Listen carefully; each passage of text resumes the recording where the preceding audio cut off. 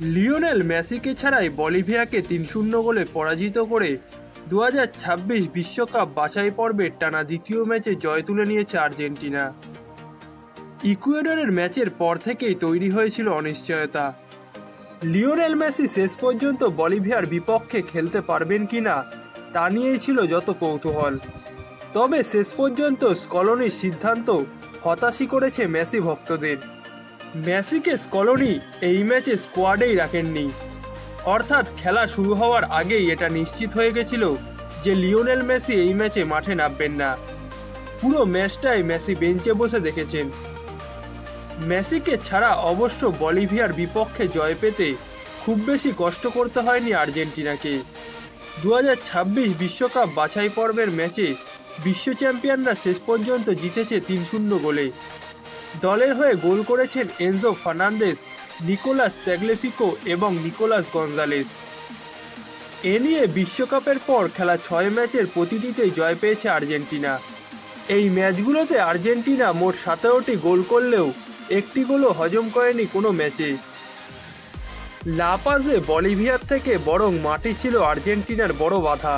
সমুদ্র পৃষ্ঠ থেকে তিন হাজার দুশো পঁচিশ মিটার ওপরে হওয়ায় বেশিরভাগ সময়ই অক্সিজেনের অভাবে নিঃশ্বাস ফেলতে কষ্ট হচ্ছিল ফুটবলারদের। এবারও অক্সিজেন মাস্ক সঙ্গে নিয়েই বলিভিয়ায় গেছে আর্জেন্টিনা দল।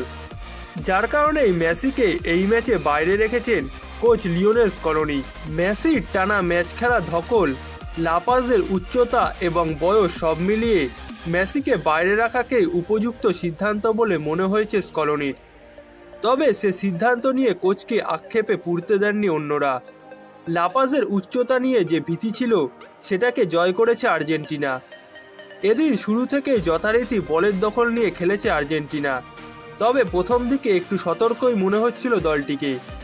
এর মধ্যে তেরো মিনিটে এনজো ফার্নান্দেজের এক শট আঙুল ছুঁয়ে ঠেকিয়ে দেন বলিভিয়ার গোলরক্ষক। তবে একত্রিশ মিনিটে ঠিকই গোল আদায় করে নেয় এনজো। হুলিয়ান আলভারেজের কাছ থেকে বল পেয়ে ডান প্রান্ত দিয়ে অ্যানহেল ডিমারিয়া সেটি পাঠান বক্সে। দারুণ ফিনিশিংয়ে দলকে এগিয়ে দেন চেলসি মিডফিল্ডার উনচল্লিশ মিনিটে বলিভিয়ার খেলোয়াড় রবার্তো ফার্নান্দেস লাল কার্ড দেখে মাঠ ছাড়লে আরও চাপ পড়ে দলটিতে।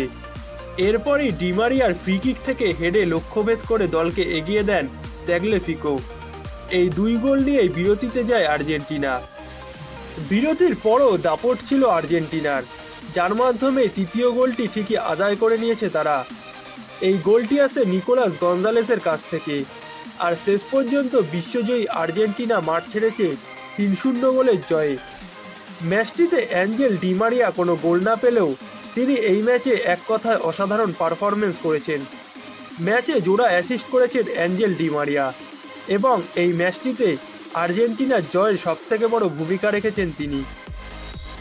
এর আগে বাছাইয়ের প্রথম ম্যাচে মেসির গোলে ইকুয়েডরকে হারিয়েছিল আর্জেন্টিনা। এবং আজকে সকালে বলিভিয়াকেও তিন শূন্য গোলে পরাজিত করেছে বর্তমান বিশ্ব চ্যাম্পিয়নরা।